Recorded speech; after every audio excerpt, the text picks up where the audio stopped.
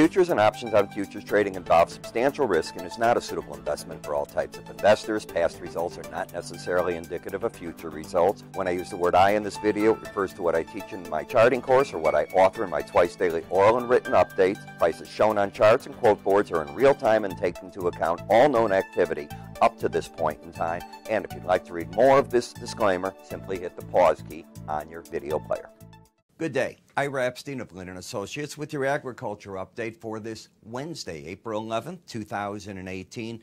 Just getting on to 2:40 p.m. Central Daylight Time. Well, the stock market down, and the problem is, is it going to accelerate? Everybody's waiting to see what's going to happen with the president. I'm talking Trump threatening Syria, telling the Russians the missiles are coming. Well, you know, he's put himself in a corner. They've got to come. Russia has said they're going to fire them out of the sky. Iran said any attack on Syria, they're going to join into it. And missiles were fired at Saudi Arabia today that uh, the Saudis did knock down. You've got a hotbed in the Middle East. How does it affect grains? Well, the trade war took a back seat for a little bit because you've had Mark Zuckerberg testifying for two days on Capitol Hill. Now we're starting to hear the word that the president is getting uh, packages together through the USDA to help farmers should our products be targeted in a, in a trade war. We'll find out more about that as time goes on, but I understand he's gone back and looked at years ago when we had the old CCC and farmers were able to borrow money, where it would come from, how it would go, what are the packages going to be. In the meantime, as I look at the market, the weekly area chart of closes is still friendly. We're going to be still looking at the Argentine situation and weather it's very early to worry about U.S. weather for soybeans, so I'm not worried about that, frankly, in any manner at all. So this market, I still think is a play on what goes on in Argentina, and it's bullish. The daily area chart has been in a straight up up thrust, and today's the first time it's backing off a little bit, down two and a quarter from yesterday.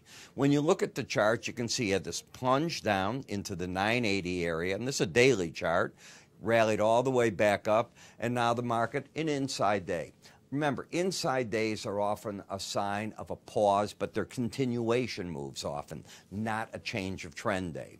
When you take a look at the swing line, you see that you have a pattern of higher lows, certainly higher highs. This high is higher than that one, so you've got that.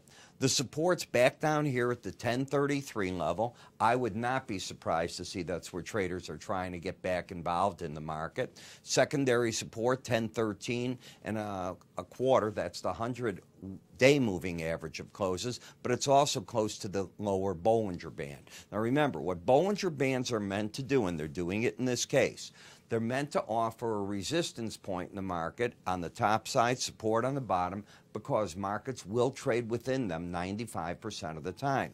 When a market breaks out, it's often from a more sideways action in the marketplace, which you had back here. And then you were able to break the market out. And if you really get going, this is what a breakout on, on one looks. But often, even though you get over it, they'll pull back within that markets don't like to stay over those upper Bollinger Bands. And that seems to be the case. Two days in a row you've tried, and you're back under at this point. In momentum, I'm going to repeat what I said yesterday. You have an overbought market that is in an uptrend that has hit the upside targets, and I think traders are waiting to buy on pullbacks in the market. In the soybean meal market, momentum is turning down. Momentum leads price. Yesterday, if you took a look at the meal, it fell five dollars. Today you're down another 370, so you're down about nine and a half dollars overall. Support's back at the 376 level. The problem for the market is you're just getting under the way underway in the downside momentum. I don't think traders like to buy when markets are overbought. They'll look at whatever they think the indicator is. I view any number in the slow stochastic over 70 not 80, the traditional way, 70 as being an overbought number. You can see you've got one of those at 74.84. In the soybean oil, this is the classic case of sideways price action in a Bollinger Band. Is this a top formation or a base formation? You don't know till after the fact. At this point in time, there's no trend. You have a lower low. The market rallied back up yesterday to the 18 day average of closes. That's the red line here. Today it made a higher high and came right back down. So the pattern's a lower low, a higher high, no trend, and you've been doing that regularly in this.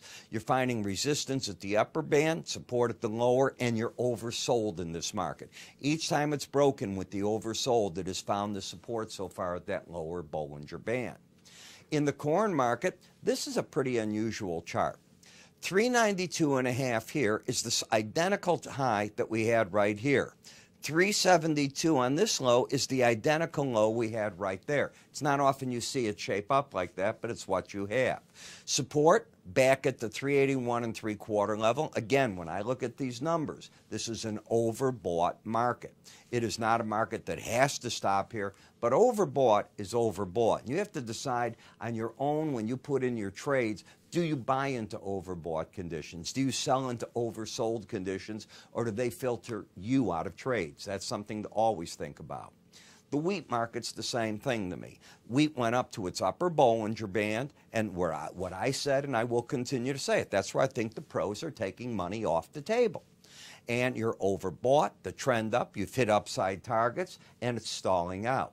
When we look at sugar, the sugar market's in a downtrend, lower highs, lower lows. Notice how it hits the lower Bollinger Band and just moves back to the right hand side of it. It's been what it's been doing for months, if you will, on end now, but it is bearish again an oversold condition. Very hard to get short in oversold conditions. Coffee blew it today. This was what coffee looked like coming in. As long as you didn't take out this low back here of 116.80, you had the makings of higher lows and higher highs. Admittedly, yesterday when you closed at 117.60 under the 18-day average, you threw out the trend. I view a trend on the swing line, if it's going to trend uh, upward, it's going to have higher highs and higher lows. It must then have prices stay over the 18 day average for that trend to stay active. It neutralized it yesterday. Now what you can't afford is to take out that 116.80 right through here. Here you go. It takes it out today. So what do you have? Nothing. Got a big fat nothing on the chart. You're just spinning around against the 18 day average. Momentum's up. The bias did turn up today because you were able to come back and settle over the 18 day average, but you did that damage on the chart. You can't get away from a lower low and a higher high. I think you're just caught in the narrowness of the Bollinger Bands and doing nothing. And I think cocoa's like that. Look at the Bollinger Bands and how sideways they're going. When you see this, I, I often tell traders, this is where the, the, one of the few times where you get people that are playing the opposite. In other words, instead of buying when you think the market's going higher, they're selling into the resistance, buying into the break. Where they put stops on, I don't know. It's probably better writing options in theories like that than it is playing the futures.